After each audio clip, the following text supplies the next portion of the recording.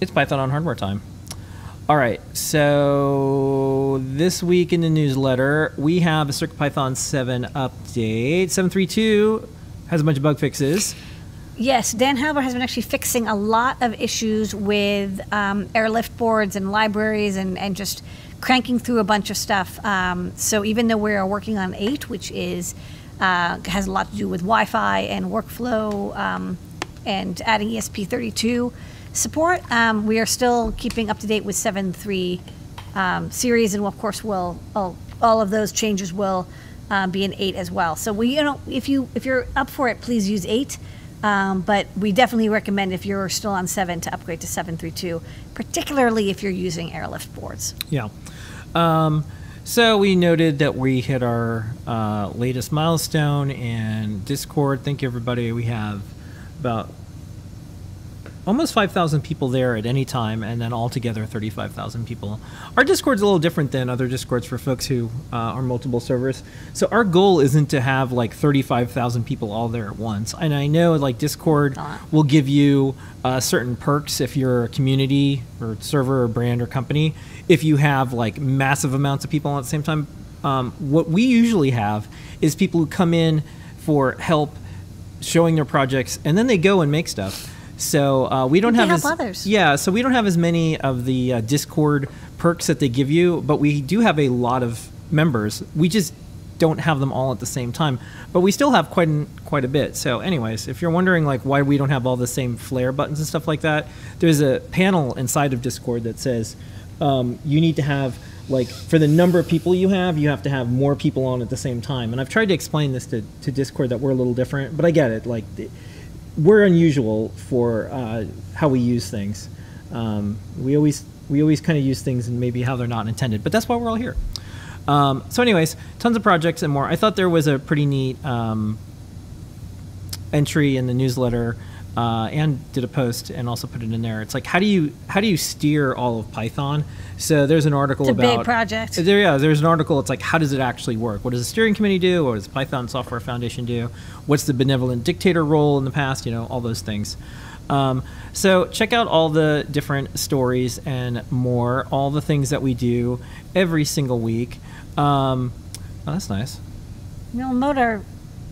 A little Blinka's motor snake. Yeah, that's, that's nice she, graphic. She wants a TB Yeah. 6612. lots of uh, e-ink and badges and more and then uh, joey's been kind of like doing a real-time thing with like here's how i do drivers with circuit python so uh, all that being said the thing that i'm really excited about is uh, circuit python day which is august 19th friday Coming up in about a month. and uh, this is from uh, Kmatch, and these are the Circuit Python powered tablets, and we're giving them away. And here is a note from Tim. Hello everybody, Foamy Guy here. Today I'm excited to share the details for the Circuit Python Hack Tablet giveaway.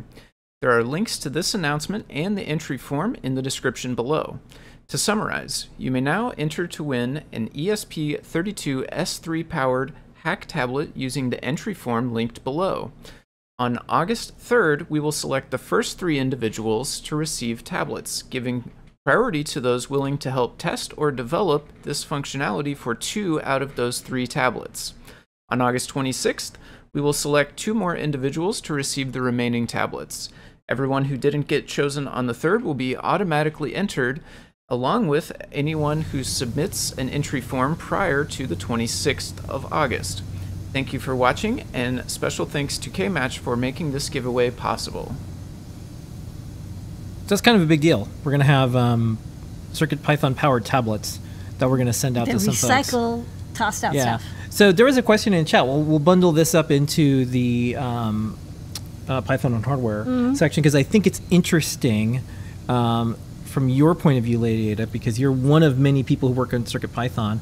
But um, when do we decide to do something like, oh, um, Circuit Python 732 is solid enough? When do we say it's time for 8?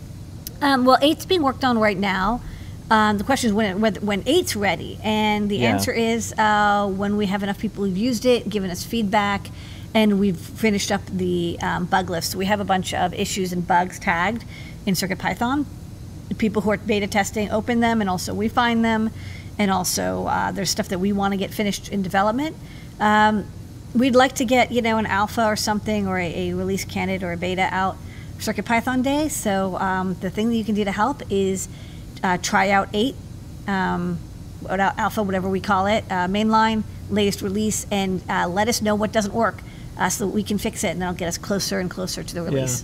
Um, just like maybe in your experience seeing other open source projects or even you know our work with CircuitPython, do you think it's an amount of time where we're like, oh, like seven is stable, let's start experimenting with eight, or is it like a combination of two, like where we want people to break eight because we have a bunch of changes.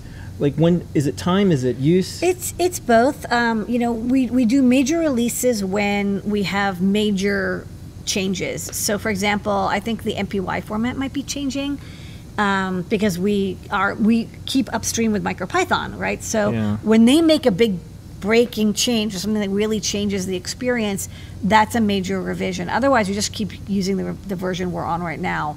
For eight, we're adding, you know, this Wi-Fi workflow. It's a pretty big change. We're adding E ESP32. It's a different way of, of using CircuitPython boards. It's a new family of chips. Um, and so for that, we wanted to go in uh, this MPY change. And okay, there's a couple other breaking changes, I think. Um, so what we try to do is like, you know, if we remove something, um, that kind of goes into a major revision as well. So that's how we know when to move from seven to eight. Yeah. And then let me go to adafruit.com slash new. Um, for, uh, for folks that are super fans, so we don't have a lot of these, so that's why we're not putting it in the new product section, but I'll put this in the like Python on hardware section. So if you scroll down, because this was a coming soon product, you will notice. da, da, da. Did I pass it? No, I didn't. Okay, there's only 14 left, but we have Circuit Python 8 posters because we try to make sure we have posters for the team.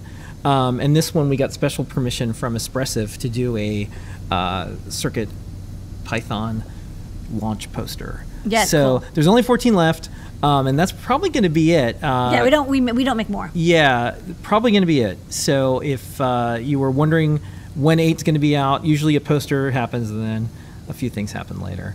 And that's this week's Python on hardware. Don't forget you can get this delivered to your inbox every week. It's a completely separate site because we don't believe in spamming or anything like that. And uh, that's this week's Python on hardware, Ada. Thank you, Blinka.